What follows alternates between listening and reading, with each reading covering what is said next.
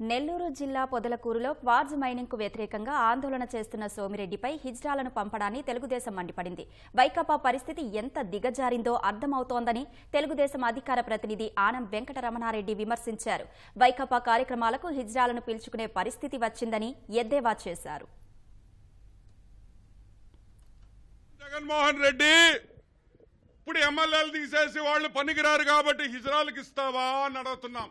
మా అక్క చెల్లెళ్ళని తెచ్చి వాళ్ళు ఎమ్మెల్యే టికెట్లు ఇస్తావా అని అడుగుతున్నాను. ఆంధ్ర రాష్ట్ర చరిత్రలో ఒక నాయకుడు మీద మీకు దమ్ము లేదు కాబట్టి భయపడ్డారు కాబట్టి హిజ్రాలు పంపిస్తారా? సిగ్గుందా మీకు అని అడుగుతున్నా.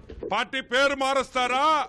ఆ, యువజన శ్రామిక ఇజ్రాయల్ పార్టీ అని చెప్పి మీరేమన్నా పేరు పెట్టుకుంటారా అని అడుగుతున్నాం. ఇదా మీ పార్టీ పరిస్థితి. సిగ్గుందా మీకు అని అడుగుతున్నాం. ఇంకో మూడు నెలల్లో బ్రహ్మాండంగా కాపురాలు చేసుకోండి. దాని తర్వాత చీరలు గాజులు మల్లెపూలన్నీ మేమే ఇస్తాం. మిమ్మల్ని అందరినీ హిజ్రాలుగా డిక్లేర్ చేసి మీరు మా హిజ్రా అక్క చెల్లెళ్ళతో మీరు బ్రహ్మాండంగా తిరగొచ్చని కూడా నేను మనవి చేస్తున్నా.